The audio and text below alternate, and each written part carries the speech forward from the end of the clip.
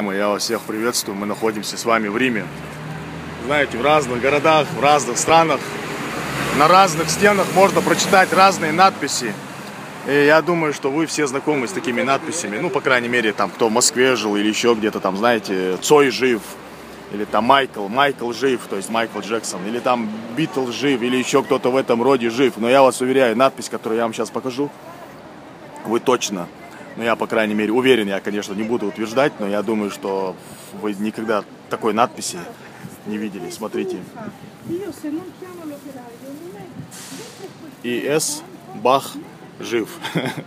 Представляете? Иоганн Себастьян Бах жив. Я не знаю, где, где такая надпись может еще быть, но только здесь, в Риме, возможно, она, она есть, она есть, она реально есть.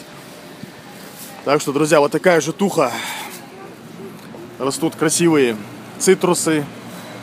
Римские каникулы продолжаются. И для тех, кто еще не знает, бах, жив. Смотрите обзор ТВ, двигаемся в Голливуд, солнечный Калифорния.